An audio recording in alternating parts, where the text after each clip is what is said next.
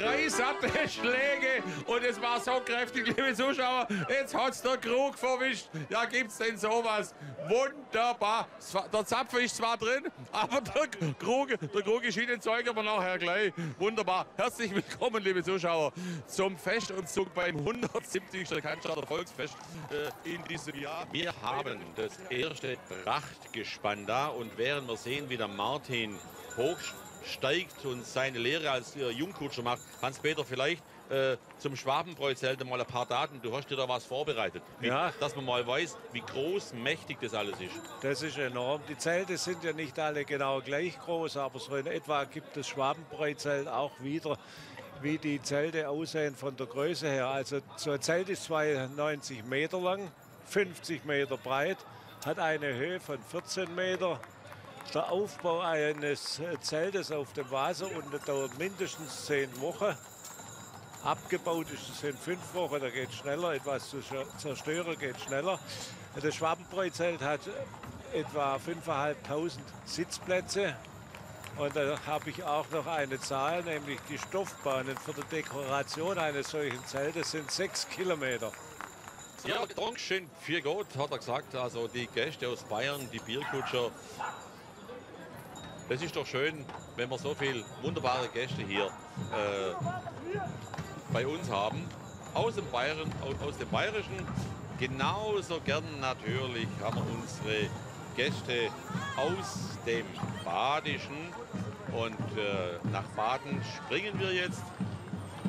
Und zwar nach Oberhamersbach in das Löblich-Reichtal Hamersbach, nach Zell am Hamersbach zur historischen Bürgerwehr.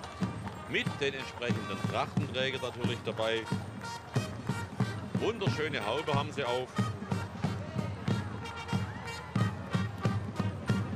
Und Oberhammersbach, Hans-Peter, gehört zum Ortenauer Kreis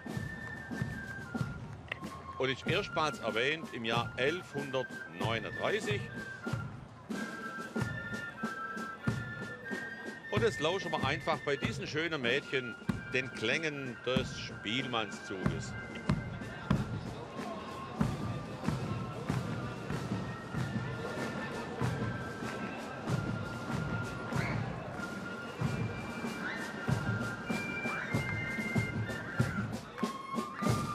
Ammersee, jetzt die historische Bürgerwehr. Mit ihren ganz besonders auffälligen Büscheln auf dem Hut.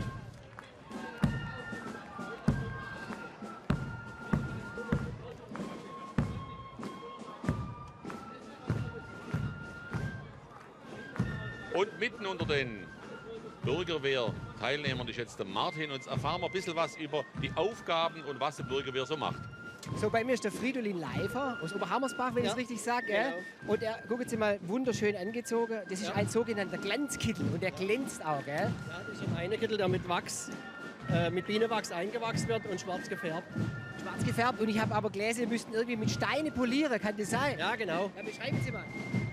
Ah gut, das äh, mit Steine polieren war früher. Heute wird es natürlich ein bisschen maschinell gemacht.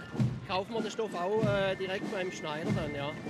ja. Okay, also Sie machen sich auch gemütlich heute bei der Bürgerwehr. Ja, genau. Äh, und was macht die Bürgerwehr früher und was macht sie heute? Früher schon repräsentieren, den Ort vertreten und das machen wir auch heute noch, ja. Heute hauptsächlich für die Kurgäste.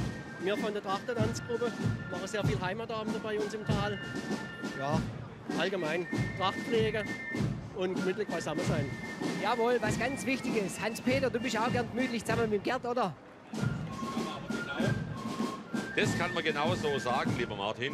Wir haben es auch gern gemütlich. Werden wir hier nochmal die Waffenträger der historischen Bürgerwehr zeigen. Wie gesagt, es wird gerade schon angesprochen, äh, Hauptaufgabe heutzutage die Begleitung äh, bei kirchlichen Festen in den Prozessionen. Und in Oberhammersbach ist der wichtigste Tag der sogenannte Herrgottstag an Fronleichnam oder das Patrozinium und das nennt sich in Oberhammersbach die Gallenkilvi.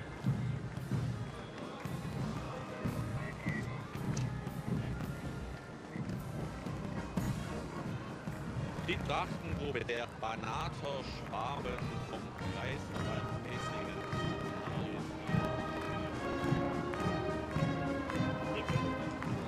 Okay. Liebe Zuschauer, der Umzug ist schon wieder vorbei. Zwei Stunden sind rumgegangen wie gar nichts. Hans-Peter, warst du zufrieden? Ich bin zufrieden.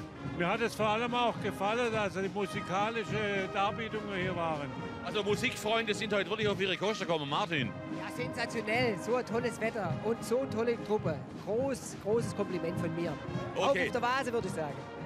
Entschuldigung, ich wollte dich nicht unterbrechen. Liebe Zuschauer, wir wollen natürlich noch einmal aufs Rätsel hinweisen. Also, die Frage lautet, das wievielte Cannstatter Volksfest äh, feiern wir in diesem Jahr?